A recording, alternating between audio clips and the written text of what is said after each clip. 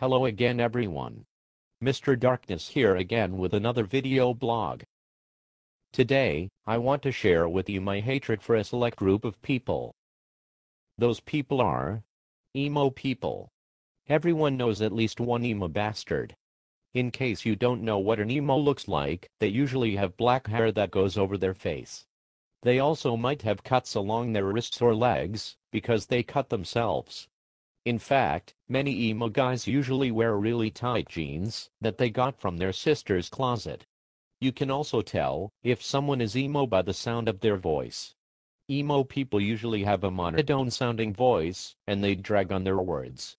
It's really annoying. I strongly dislike emo people because they are attention whores. They think that their lives are the worst. To that, I usually ask them if they've ever heard of the Holocaust. Emo people are the cancer that is killing today's youth. For example, look at MySpace. Over 93% of the people on MySpace are emo. You can tell by reading their blogs about how their lives suck. Seriously, next time you're on MySpace, look at one of your friends' blog and check to see if they are emo or not.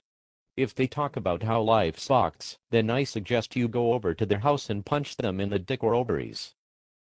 Just do it. Sure, they may not be your friend anymore, but hey, at least you don't have a person that is an attention whore as a friend anymore. Anywho, I just wanted to warn you all of the emo menace that plagues society today.